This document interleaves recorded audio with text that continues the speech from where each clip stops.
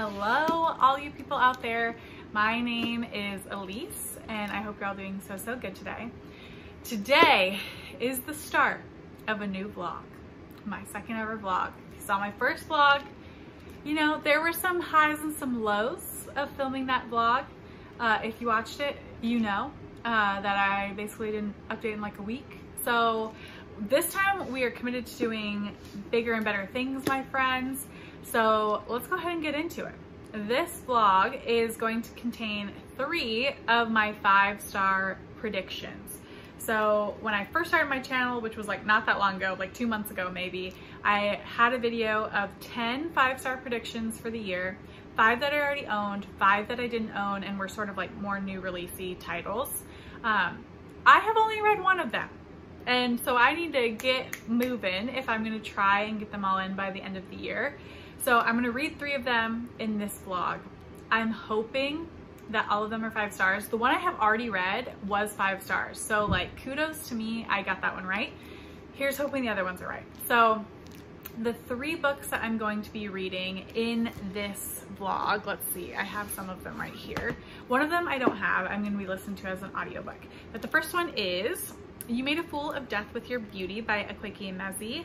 Um, this is a romance, and this one follows Faye and kind of, again, it's a romance, so follows her kind of finding love. I'll get in more to the plot when I start reviewing each of them. This one is Julia and the Shark. This is by Kiran Millwood Hargrave and Tom De Freston. They are married. Tom De Freston, I believe, does the illustrations, and then Kiran Millwood Hargrave does the story. Um, this one, let's see if I just open up, Ugh, gorgeous, gorgeous. This one, I believe, is about a young girl who has a kind of connection with her mother through sharks. So they both like love sharks. That might have to do something with the mom's work. And then the mother, I believe, passes away and it's about how this young girl grieves kind of and uses the connection of sharks to help her move through the grieving process.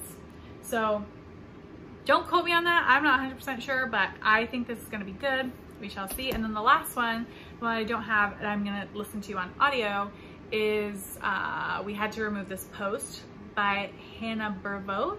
Burvo? Burvo. I was saying it Burbowitz and that is wrong. So my bad. It is not that. It, yeah, it's not Burbowitz. That's my American accent coming out. Um, so again, I'll let you know more about that as we get there, but it's about content moderators. I'm intrigued and that one is translated. Um, so I'll mention the translator when we get to it. So those are three books and let's go ahead and dive into the first one because I've already started it. So this book, I am over halfway at this point. I'm at like almost exactly like at page 150 and it's 250 pages long. This book, first of all, I'm buddy reading it um, with Kat from Kat Reads on Instagram. And this is like kind of uh, blowing my mind a little bit. So I have a lot of thoughts because I am buddy reading it.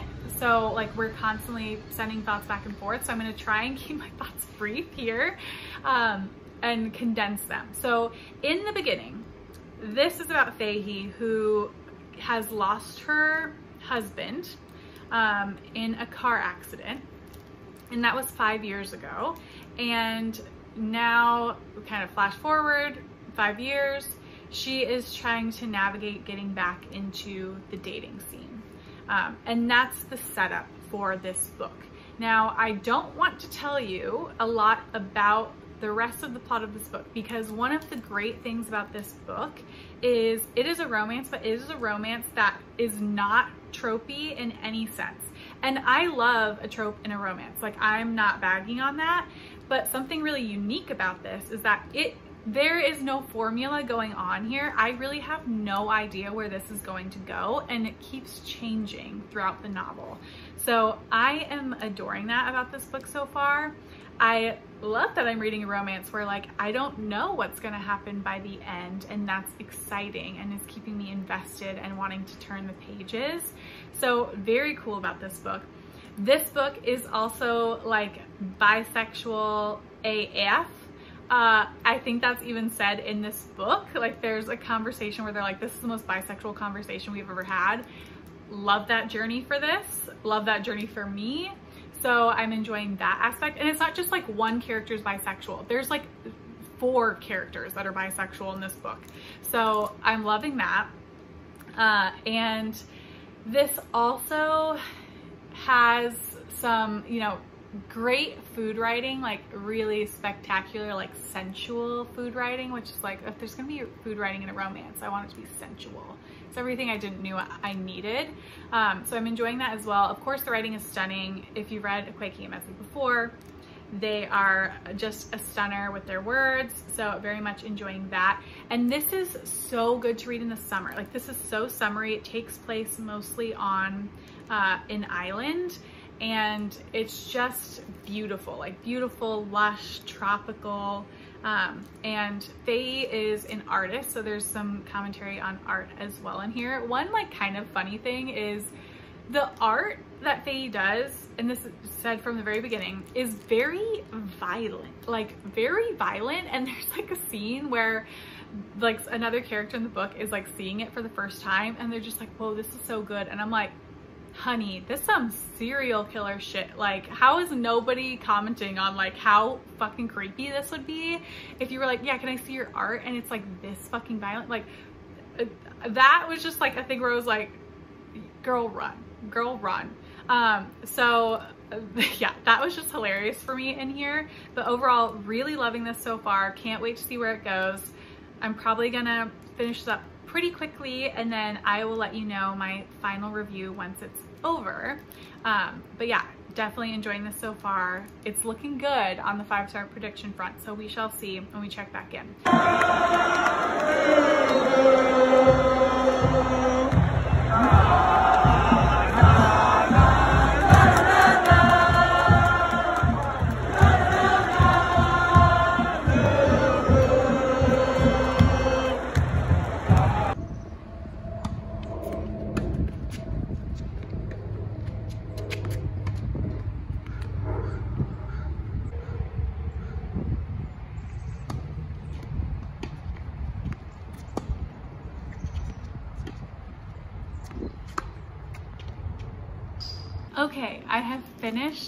Made of Death with Your Beauty, this one right here, uh, and I'm gonna give you my thoughts. But first, because it's a five-star predictions vlog, I don't always give star ratings, but I am gonna give them for all the books here because it's a five-star prediction vlog. So this one I'm going to say is a four star. So it didn't quite meet the five stars that I was hoping it would be, but I did still love it and I really enjoyed this book and thought it was great and highly recommend it. Um, I think I really appreciated the love interest and how emotionally mature that person was. Um, it's refreshing to see someone being emotionally mature in a romance because I feel like often they can't be together because, you know, they're not emotionally mature and there's like miscommunication because they don't want to communicate with each other and they don't communicate effectively and that can get annoying and this doesn't have that at all. So the person that they end up being with, that Faye ends up being with, is very emotionally mature. I loved that representation. Um, I think that it also just has like stunning writing in this and it's really well done in that sense and like I said earlier you really don't know where this is gonna end up like you don't know who Faye is gonna um, like end up with and I think that is interesting um, and unique and I enjoyed that aspect of it. It made me want to keep reading it.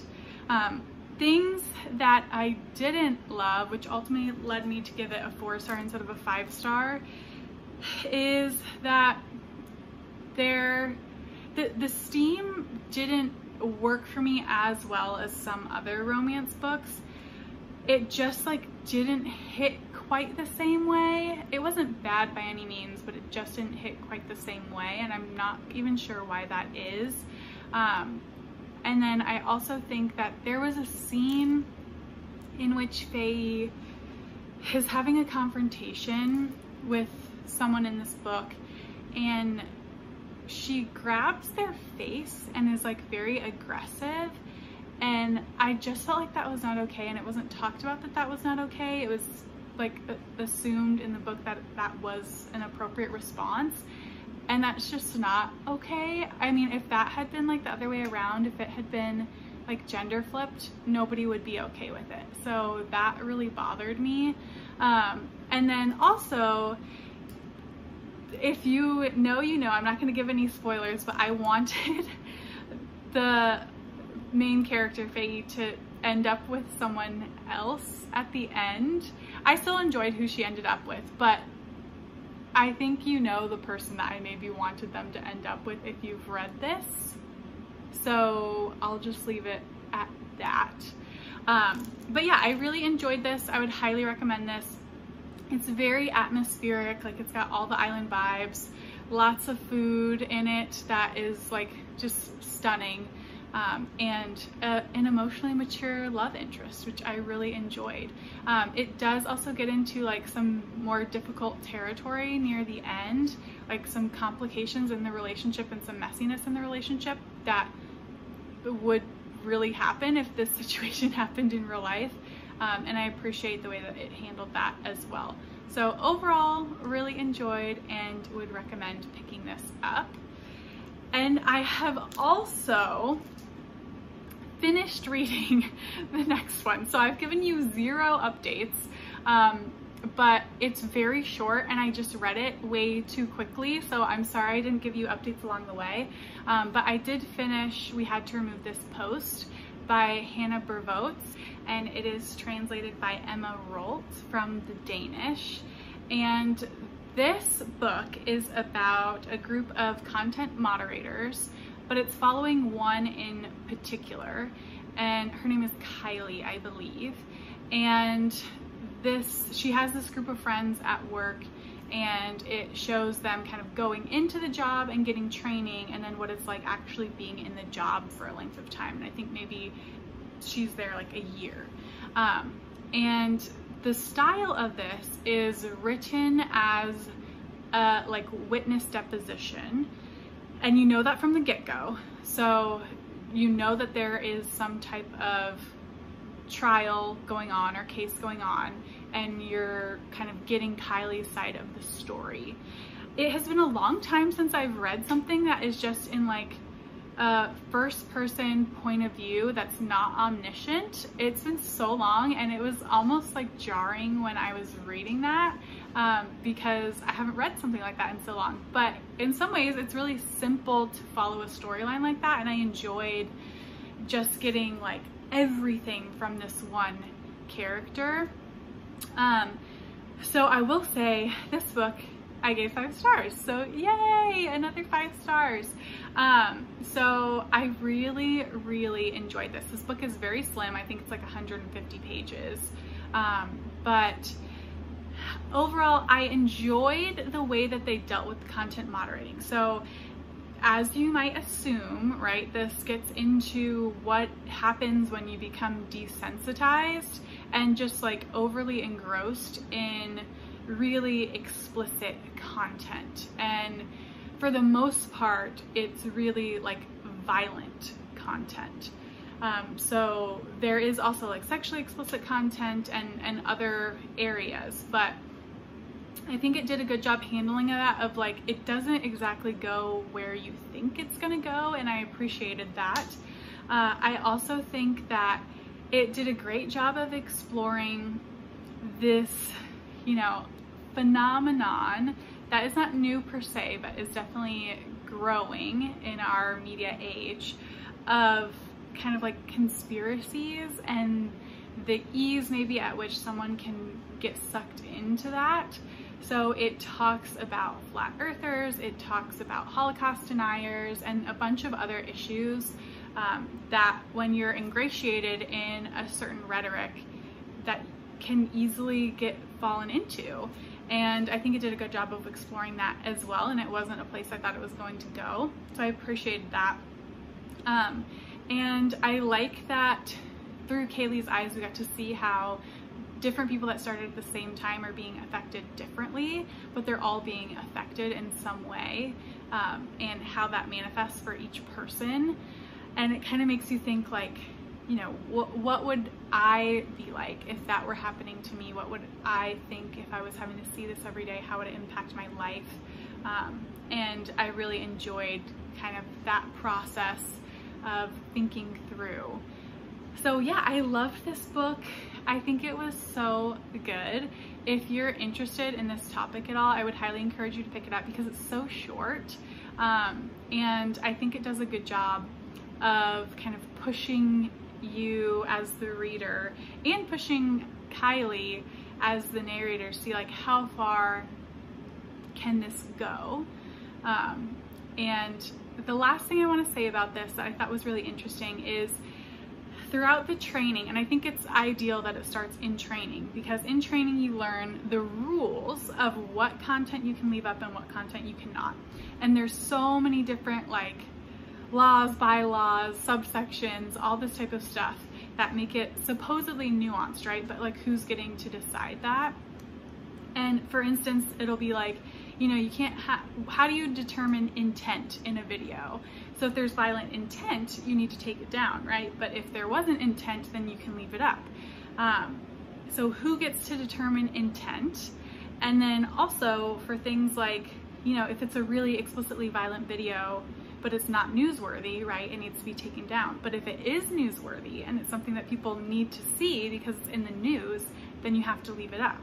So then, you know, then we're getting into a discussion of what becomes newsworthy. And so what are we allowed to leave up because the news has deemed that it's worth our time and whose stories are those benefiting.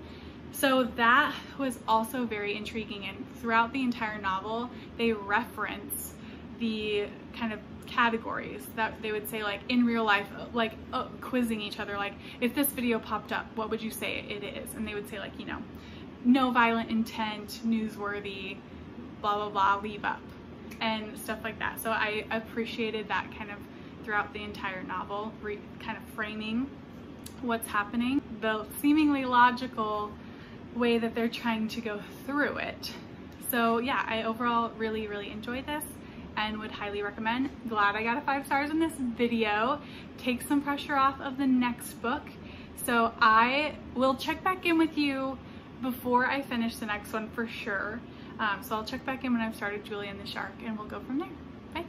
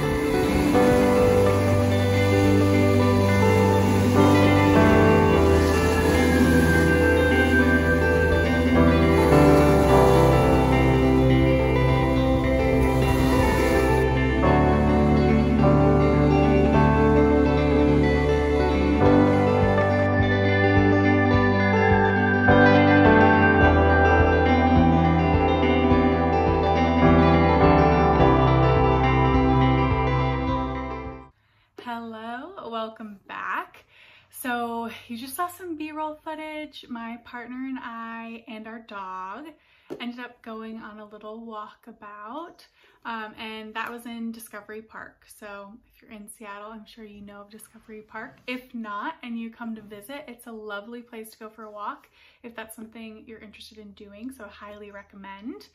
Um, and now I'm here to give the first little update on Julia and the Shark. So I'm so glad I'm actually updating you before it's finished, unlike the last book. Um, but I've read the first 50 pages of this. Let's see, where am I? Yeah, about the first 50 pages of this, about five chapters in. Each chapter is about 10 pages. Um, and I figured I would give a quick update because I'll probably finish it the next time I pick it up.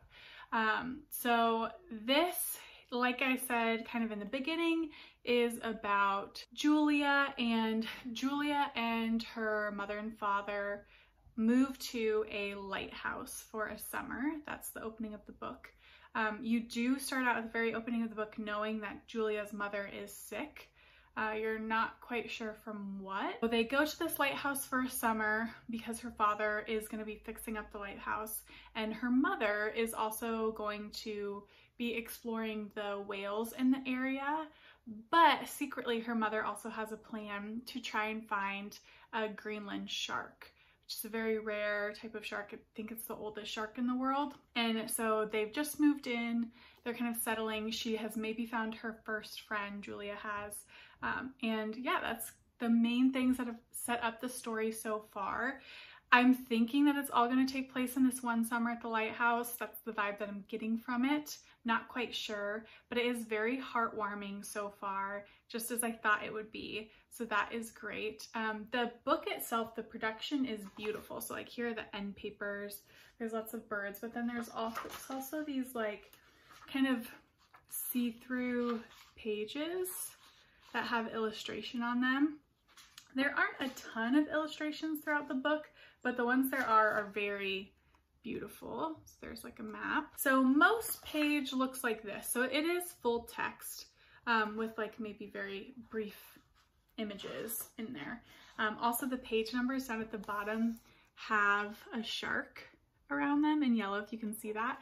So yeah, the production is great of this. I'm excited to read the rest of it and see what comes. But I'm really like the writing style so far. Enjoying the kind of perspective from, I think she's nine, Julia might be nine, nine or 10, enjoying that perspective, which I don't always love reading from the perspective of a child, but I am enjoying this. So we will see what else this has in store and I'll check in with you once I'm finished. Bye. Okay people, we are wrapping up this vlog and I am here to talk about the end of Julia and the Shark. Firstly, I need to say there is going to be some editing in what I talked about in the first one because man, did I get it wrong what this book is really about. So if it feels choppy in my first introduction of this book, you know what happened. Um, but overall, I very much enjoyed this. It was not a five star, unfortunately, but it was a solid, solid four star. Still highly recommend, still loved it. Um, so this basically like I said earlier, follows Julia and her relationship with her mother and, and kind of her whole family. Um, I think this does a really good job of representing the, the illness that it represents. Um, and they did that with a lot of care and nuance and um, very much appreciate what they did with that here. I think they put it in a way that kids would be able to understand, um, but it's not like so dumbed down as to lack the nuance that needs to be talked about with it. So appreciated that. There are trigger warnings for this book that I would look up if you're worried about it. Like nothing is on the page, um, but it does allude to some stuff. So look up trigger warnings. I don't want to say them here because it would be a spoiler, um, but look them up if you're need to look at that. Um, again, I think that this had such a good uplifting tone uh, throughout the whole thing and that was very enjoyable with some of the heavier subject matter. Um, it has lots of information about the sea and sharks and stars. Um, so I think really informative in that way. And yeah, again, the production is just so great. Like the illustrations are great. Um, the pages with that are have like the little see-through illustrations on them. Loved all of it. So highly recommend this. If you're interested in picking up, do it. And I know that the kind of second in this series, they don't follow the same people, I believe, but like a new kid slash animal combo has recently come out, I believe. So there is more if you really enjoy this one as well. So yeah, that was Julia and the Shark. And let's see, let me grab the other book that I own. So we read three books in this video. These two, and then I will put the other one somewhere in the ether. Um, I enjoyed all of them. We had two four stars and a five star. So obviously my favorite was we had to remove this post and then I would say this one is next. You made a fool of death through your beauty and then this one, but these two are very close together. Um, so I would say it's a success. I found at least one more five star, so I'm proud of myself for that and still very much enjoyed these. Um, so yeah, we made it through three more of my five star predictions. Spoiler alert for you that in November, I will be doing another five star predictions vlog because I need to get through them. I still have like half of them to get through.